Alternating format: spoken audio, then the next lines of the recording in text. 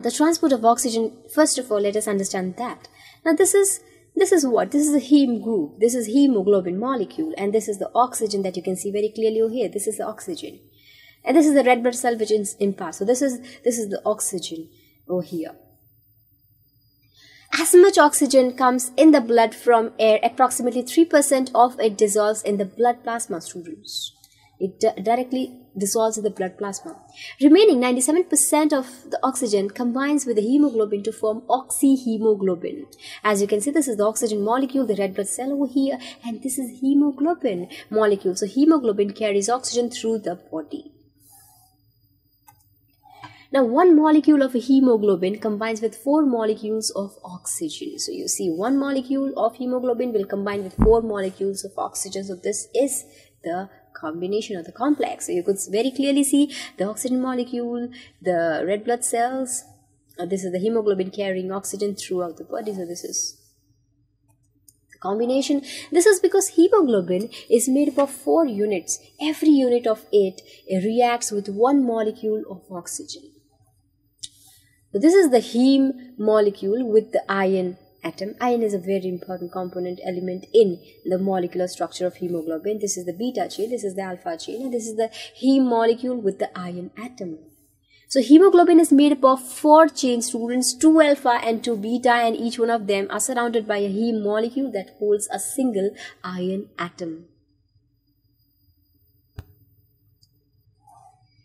Students, one gram of hemoglobin can combine with a maximum of 1.34 ml of the oxygen and 100 ml blood carries about 15 gram uh, of hemoglobin. So 100 ml of uh, the blood transport approximately 20 ml of oxygen Oxygen does not oxidize hemoglobin. The formation of the oxyhemoglobin is a process of oxygenation that is called as. And the valency of iron is 2 in the oxyhemoglobin. Some pollutant gases like ozone or sulfur dioxide or um, uh, NO2 or NO etc. oxidize the hemoglobin. And this oxidized hemoglobin is called as the uh, methemoglobin that is a colorless compound. And because of which you know this is the uh, methemoglobinemia as you can see the color of the skin.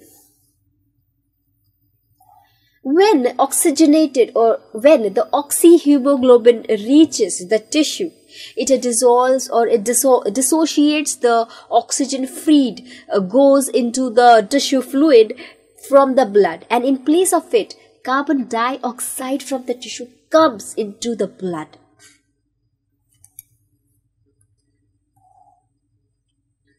Gaseous exchange between the blood and the tissue is called as the internal respiration and it is also done by a simple diffusion.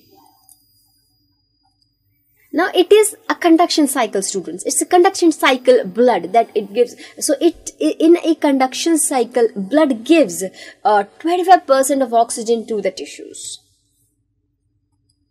the rate of the saturation of the hemoglobin with oxygen is directly proportional to the concentration of oxygen as with a rise in the uh, partial pressure of the oxygen the affinity between the oxygen and the hemoglobin increases